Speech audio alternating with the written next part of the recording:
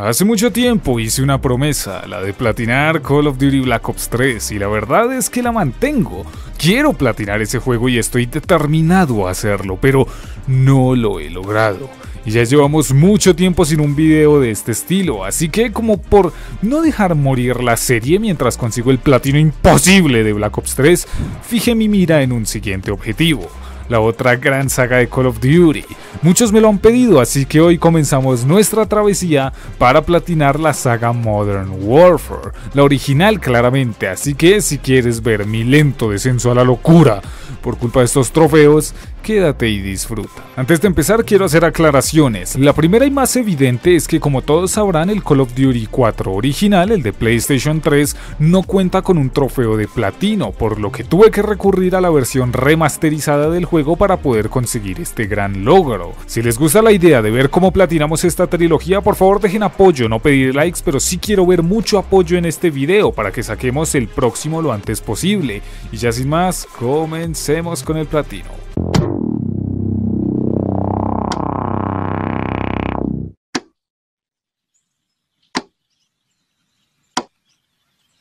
Bien, antes de empezar tenemos que hacer un pequeño recuento, hacer como un inventario de los trofeos que tenemos que sacar, lógicamente. Y revisando guías por internet de los trofeos que nos darán este platino, tenemos que serán 50 trofeos en total. Ahora, como siempre, yo hago una run por mi cuenta en la que me paso la campaña en veterano porque así mato muchos pájaros de un solo tiro, como pasar la campaña por primera vez, pasarla en una dificultad como veterano o curtido. También cada misión en veterano te da un trofeo más o menos y una que otra cosita que sale básicamente sin buscarla. Así que al final de esta run, habiendo completado la campaña como es debido, como digo, sin haber hecho nada extraordinario, nada fuera de lo normal, tendremos 26 de los 50 trofeos que tiene el platino. Son trofeos, como dije, por pasar la campaña, por pasarla en veterano. Cada misión más o menos nos da un trofeo. Además hay cositas muy sencillas de sacar que te salen sin querer básicamente. Entonces con eso ya tenemos gran parte del platino, por lo que nos quedan unos cuantos. Y ojo porque no son necesariamente sencillos. Empezamos con un trofeo que me quería deshacer desde el inicio. Y es el de Club de Liga Aéreo. Y es un trofeo sencillo en premisa pero muy complicado en la práctica. Tenemos que completar este logro en dificultad veterano con un tiempo asquerosamente limitado. Es de los más complicados sin duda, es una misión asquerosamente complicada y en veterano es un infierno. Pero después de practicar mucho, nos podemos adecuar, podemos aprendernos de dónde salen los enemigos. Y el tiro al final quizás es lo más complicado, pero si se practica se puede sacar sin problemas, aunque eso sí es de lo más complicado que vamos a hacer. Ahora sí vamos a la campaña y los primeros trofeos tienen que ver con la maqueta del carguero, la prueba contra reloj. El primero lo sacaremos completando la prueba en menos de 19 segundos, porque ese fue el tiempo que hizo Gas. Y si lo superamos seremos el nuevo récord de escuadrón, no es tan complicado. Pero un poco más complicado es el siguiente logro, que será superar este circuito de entrenamiento superando el mejor tiempo de Ward, que fue de 15,1 segundos. Una brutalidad. Para este trofeo yo lo que recomiendo es tener en cuenta los bonus. Sí amigos, la precisión nos va a dar un buen bonus, así que traten de no fallar balas. Ahí va a estar la clave, aparte de claro no empanarnos en ninguna zona, lanzar las segadoras anticipándonos y fluir por el circuito. Esa es la clave para hacer un gran tiempo y tener este trofeo. Pasamos a tripulación prescindible donde vamos a conseguir varios trofeos. En el primero tendremos que eliminar a tres enemigos seguidos con cuchillo. Esto se puede sacar cuando sea, pero para mí lo más fácil fue matar a este borrachín y a los dos que están durmiendo. Es como la manera más sencilla de hacerlo de corrido. El siguiente es muy curioso y es que tendremos que encontrar a este enemigo que lleva la Desert Eagle, matarlo, quitarle la pistola y luego matar a cinco enemigos con ella. No es demasiado difícil, pero sí tenemos que hacer el esfuerzo extra de ser precisos, tratar de no fallar balas y adelantarnos a nuestros compañeros. Sobre todo eso, que podamos matar a los cinco. Entonces hay que ser rápidos para hacer esto, sobre todo porque la munición es limitada. No es tampoco muy complicado, pero si fallamos tendremos que reintentar y será bastante tedioso. Así que nos conviene hacerlo bien. Ahora toca uno de los trofeos más endemoniadamente locos de esta campaña y es completar una misión, la que sea, usando solo nuestro cuchillo para eliminar enemigos. Por favor, ni siquiera granadas, nada de nuestro equipo, nada de nada. Solo hay que ir a cuchillo. Es verdad que se puede en cualquier misión, ya lo dije, pero yo encontré que lo más fácil sería hacerlo aquí porque no hay distancias lejanas, los compañeros ayudan bastante por momentos y en una dificultad no tan alta se puede conseguir. Va a llevar un trabajo importante porque en serio, ir como un puto ninja por ahí repartiendo navajazos es brutal, hay que ser muy ágil. Lo bueno es que hacer esto nos va a dar dos trofeos a la vez y es que el siguiente trofeo se basa en completar una misión entera sin recargar nuestra arma ni una sola vez. Entonces, haciendo esto del cuchillo, obviamente no hay necesidad de recargar, por lo que mataremos dos pájaros muy pero que muy complicados en un solo tiro. Es la mejor manera de hacer esto sin que nos lleve días. Pasamos a Charlie no surfea, donde tendremos que destruir a lo largo de toda la misión todas y cada una de las televisiones que están transmitiendo el discurso de Al-Assad. Todas y cada una de ellas. Lo bueno es que no es como que estén en ubicaciones súper escondidas y súper complicadas, no, están a plena vista y si no lo más que tendrás que hacer es subir una que otra escalera, llegar a uno que otro spot que los poco curiosos no revisarán, pero de resto estarán a plena vista y tendremos que irle dando a todos. Eso es lo complicado verdaderamente, porque en zonas como el tiroteo de la emisora es muy fácil que se nos escape alguna, muy fácil o que nos confundamos y con una sola que se nos quede ya no tendremos el trofeo, así que habrá que hacerlo todo de nuevo, por lo que mi único consejo es ser súper atento, súper precavido, estar muy al pendiente de todo. Si tienes que quedarte en alguna zona solo buscando teles, no importa, lo vas a hacer si es necesario, porque luego te arrepentirás de no haber hecho las cosas bien, en serio. Lo bueno es que después de todo este trajín, llegamos a la última zona y el juego nos da todo el tiempo del mundo para destruir los televisores que hay ahí. Ya digo, no hay ningún oculto, entonces es sencillo si nos vamos con cuidado. Este trofeo a todos nos sale, pero yo me lo reservé para esta run intencionalmente. Y es que en la misión El Pantano tenemos que rescatar al soldado Roycevitz cuando lo ataca este enemigo. Es de lo más fácil que tiene el juego en cuanto a trofeos, a decir verdad, pero es bastante icónico. Igual que el siguiente, ya que avanzamos hasta el tiroteo este donde los enemigos están en un puente, ahí nuestro objetivo será tomar el Javelin para destruir los cuatro tanques enemigos que están en el paso elevado.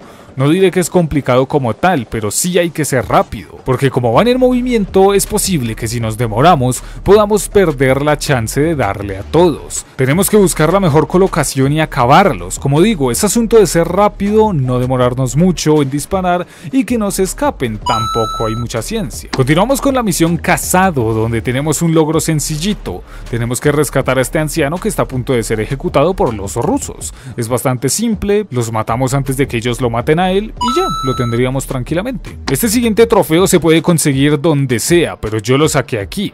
Y es que tenemos que matar a por lo menos tres de los cuatro soldados que los helicópteros de transporte despliegan. Es bastante simple, solo tendremos que tener buena puntería y ya, como digo, se puede sacar, pero a mí me salió aquí. Y el último que saqué en esta misión es otro muy sencillo. Simplemente tendremos que sobrevivir a la embestida de un perro muy simple. Como era lógico, tendríamos un reto con el AC-130 y es más sencillo de lo que pensé. Simplemente tenemos que eliminar a 5 de un disparo. Para esto obviamente lo más óptimo es utilizar el cañón de 140 milímetros, esperar a que se amontonen 5 enemigos y eliminarlos. Hay que tener cuidado porque este mendigo cañón no mata tanto como podrías pensar, pero se saca bastante fácil también. Pasamos a todos camuflados, aquí tenemos que sacar unos cuantos. El primero tiene que ver con perros y es que tenemos que matar a 20 perros a cuchillo.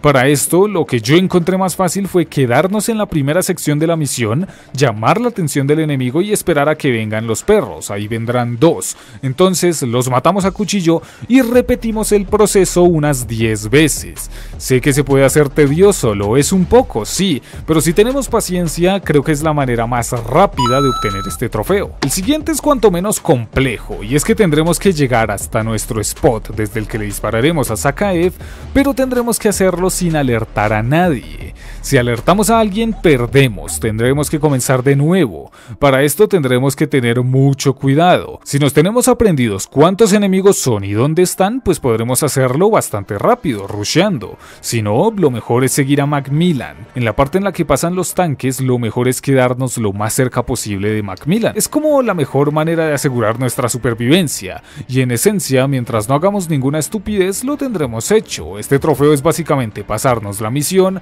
tal y como está diseñada para ser completada, no mucho más. Y terminamos todos camuflados con el que es probablemente el trofeo más curioso de esta entrega, y es que tendremos que dispararle a Sakaev, sí, pero también ser rápidos y matar a Makarov que está ahí, en un vehículo, para luego superar la misión. Es increíble, es un logro sencillo, sí, pero muy nostálgico. Me gusta mucho porque como el nombre lo dice, desata una paradoja temporal interesante. Es un trofeo normalito, sí, pero que a los que jugamos la trilogía original nos encanta, la verdad. El siguiente es curioso, tendremos que volver a la parte de la iglesia, allí donde pasaba ese helicóptero, y ahí tendremos que usar uno de estos Stingers para destruir el helicóptero. Tiene su dificultad porque de verdad es jodido, el helicóptero es muy agresivo, está hecho para destruirnos, pero tampoco es la gran cosa, se puede conseguir después de unos cuantos intentos. Pasamos al rojo vivo, donde para obtener nuestro primer trofeo tendremos que subir a la cima de la iglesia,